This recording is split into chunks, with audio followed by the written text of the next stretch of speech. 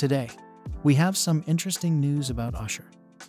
He is now a married man for those who didn't know, and this is how he praised his wife in New York.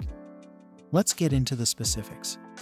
On Tuesday night, Usher and his spouse Jennifer Goicoechea Raymond went on a date.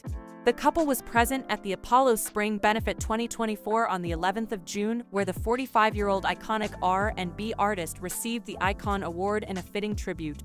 The couple, who got married in February, arrived at the event holding hands before posing for pictures on the red carpet. Usher looked chic in a burgundy suit with flared slacks, while his 40-year-old wife carried a glittering black and silver pocketbook and wore a black mini dress with a black and white colored blouse. Usher and Jennifer have a two-year-old son named Sire Castrello and a three-year-old daughter named Sovereign Bo. Along with his ex-wife Tameka Foster, the musician is also father to two sons, Naviyd Ely, who is 15 years old, and 16 years old Usher Cinco Raymond V.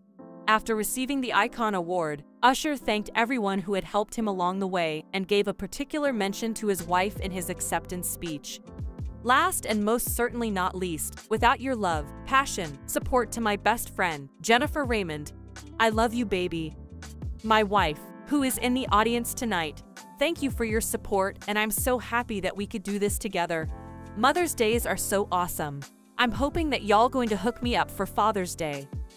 Usher said in a news release when the Apollo announced him as one of this year's honorees in April.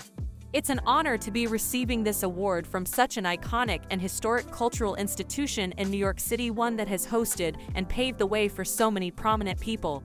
I'm humbled to be this year's recipient and look forward to seeing everyone soon.